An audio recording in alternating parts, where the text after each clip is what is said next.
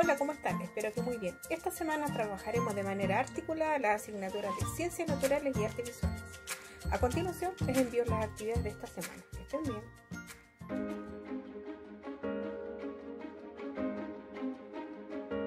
Hola a todos. Estoy en una campaña para proteger el medio ambiente. ¿Me ayudan? Hablemos primero de un tema muy importante para la conservación de la vida en los ecosistemas.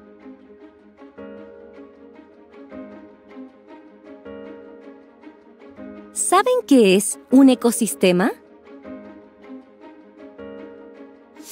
Es un sistema compuesto por una comunidad de seres vivos, como animales y plantas, y seres no vivos, como el agua, la tierra, las piedras, etc.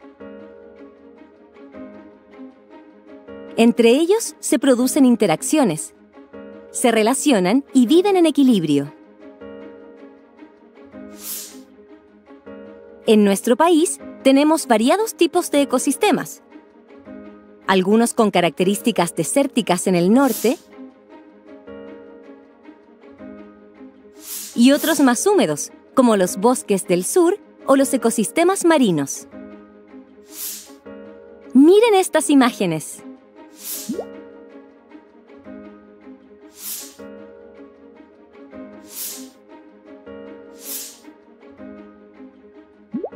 Estos hermosos lugares que acaban de ver pueden ser modificados negativamente por los seres humanos.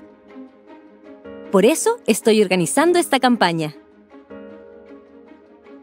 Miren ahora estas imágenes.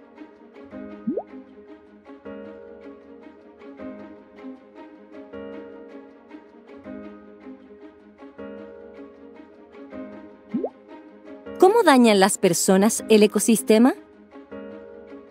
Con la tala indiscriminada del bosque. Cuando las personas cortan los árboles en gran cantidad y no vuelven a plantarlos, el suelo se erosiona es decir, se produce el desplazamiento de la capa superior de este,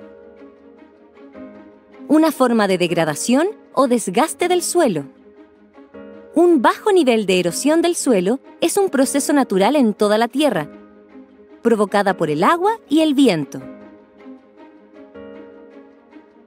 Sin embargo, existen acciones humanas que aceleran este proceso, provocando que los animales pierdan su hábitat hogar y desaparezcan especies nativas.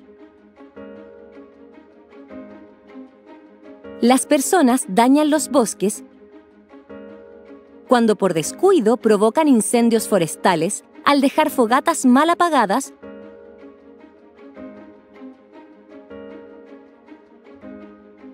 o tirar cigarros encendidos en el camino.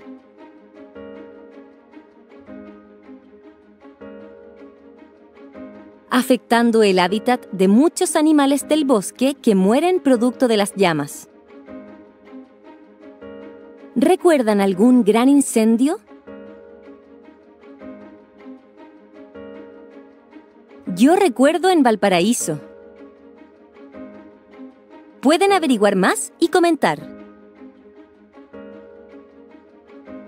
Otra forma de provocar daño es la caza indiscriminada ya que se reduce el número de especies.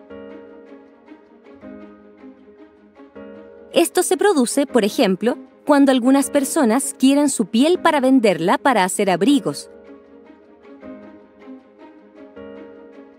por sus colmillos, cuernos o por su carne. Todo esto ha producido la extinción de animales, como el rinoceronte negro de África,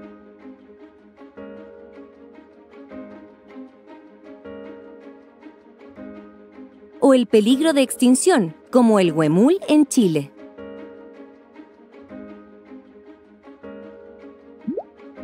También la sobreexplotación de recursos marinos ha producido un cambio y deterioro del ecosistema marino. ¿Sabían que hay lugares donde casi no quedan peces para pescar?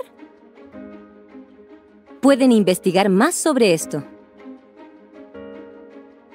Tenemos una gran responsabilidad frente a nuestro medio ambiente. Muchas veces nuestras acciones dañan a los animales y plantas. Miren estas imágenes. Muchos animales mueren por comer la basura que las personas dejan tirada o por empresas irresponsables que lanzan al mar sus residuos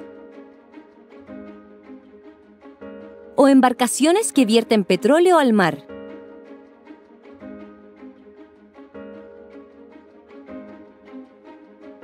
Niños, niñas, no todo está perdido. Nosotros debemos cuidar la naturaleza y comprometernos a ser responsables.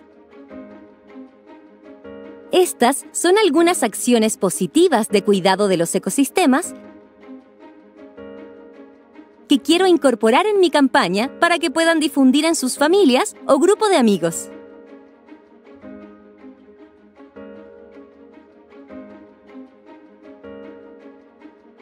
Acciones positivas. Prohibición de caza en zonas del país en donde hay animales en peligro de extinción, como el pudú o la chinchilla.